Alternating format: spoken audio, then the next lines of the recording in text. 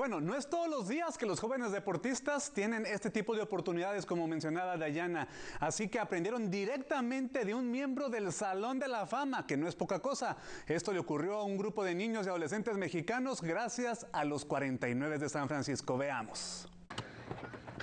Aunque la temporada de la NFL está a más de dos meses de comenzar, los 49 de San Francisco no dejan de trabajar para fomentar la práctica del fútbol americano en una comunidad cada vez más ávida de este deporte. Hace unos días, esa misión llevó a los 49ers a realizar una clínica para un centenar de jovencitos mexicanos en Los Cabos, Baja California.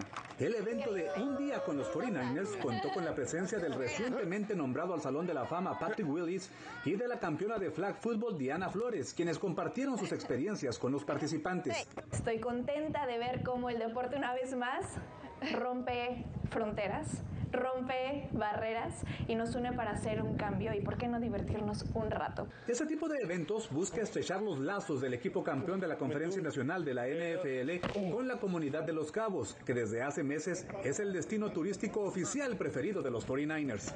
Esta clínica, esta asociación y ah, trabajando con los cabos fue un éxito y pues yo creo que porque podemos tenemos los mismos valores de la comunidad, familia y, de, y el deporte de esta manera, estos jóvenes tuvieron la oportunidad de recibir instrucciones directas de parte de los profesionales, encabezados por el siete veces jugador del tazón de los profesionales, Willis, quien los alentó a convertirse en personas de bien. Quiero que sepan que desde los Estados Unidos los estamos alentando para que crezcan y se conviertan en algo especial en cualquier área en la que se desenvuelvan, incluso como jugadores de fútbol americano. Y con un consejo de vida de parte de quien en poco tiempo se ha convertido en una inspiración para muchos jóvenes deportistas. A ti, que estás hoy aquí, quiero invitarte a que continúes soñando en grande.